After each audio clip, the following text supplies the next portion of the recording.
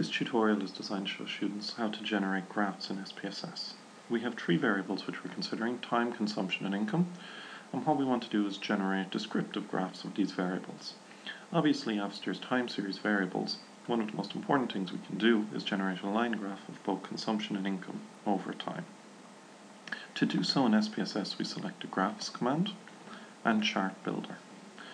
A dialog box will appear asking us whether we wish to continue and if we have our various variables labeled correctly. We've done this, so we will select OK. The starting point is essentially a dialog box as such. Now, as I've said, there's various different chart options available, but we want to construct a line chart, so we select Line, and we can either double click the chart or click and drag it up to our drawing area. I generally work with clicking and dragging variables to where I want them. So we have a y-axis and x-axis and our line will appear here.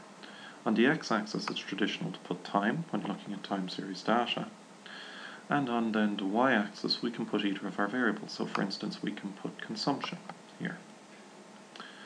Now this is in essence our basic chart created. We have the y-axis and the x-axis.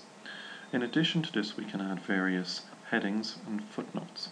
So if we want to add a title, we simply select title and we add the content over here. So for instance, figure 1, US consumption.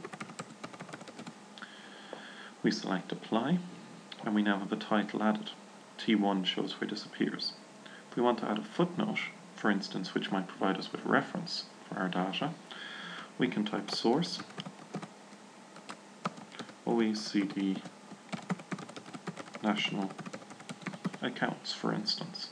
And again, select apply. And we can see F1 down here, which is where the footnote will appear. Now, we simply have to click OK. Our script will run and our graph will be generated with figure 1, our source, time on the x-axis, and y-axis being consumption. So we can see our consumption trends upwards over time. Now, we want to generate a graph of income. We follow the exact same steps. Again, we go graphs, chart builder, we select OK. And what we need to do this time is essentially remove, first of all, the variable we had on the y, and put in income. So essentially just changing the variable. Now, we also need to change our title. So we simply select our tick, and this time we want figure 2 US income, and select apply. Now we already have the source the same, so we don't need to change that. Everything has been done, so we simply select OK. Again, our script runs, and we can see we get our graph generated, where we have income, our title, and our source, and the variable over time.